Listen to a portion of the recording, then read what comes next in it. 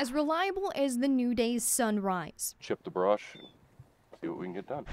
So is the cooperation of a community. A couple people start down here, a couple people start up there. And I think it's common with any profession or any place that's a disaster. Clear all that. People come together, get that stuff cleared out of the way and just blow it into the Well, let's get the chipper hooked up and Yeah. Dave Lynn's community has been cleaning up Hey, give me a cut. since an EF1 tornado Get that off. cut through Chardon in late August, sparing homes and lives, but breaking branches and tossing timber around Meadowood Drive. I need firewood.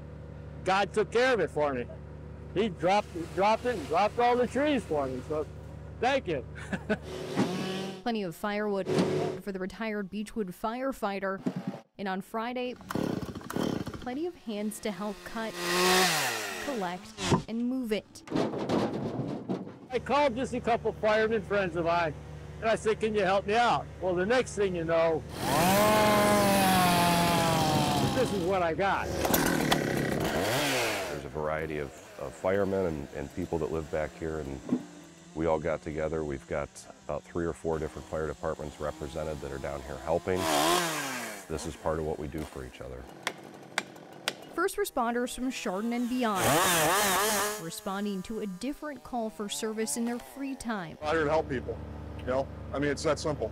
I mean, that's what we do for a living anyhow, so what's any different on our days off? As of right now, I would start moving firewood. It's part of a daily dedication to their team This is part of what we do for each other. and reliability to the community. I told him you'll bring the chipper in here once we get piles in here. Anything we can do to help out and make people's lives a little bit easier, we're, we're going to try and do. In Chardon, Captain Ross, News 5.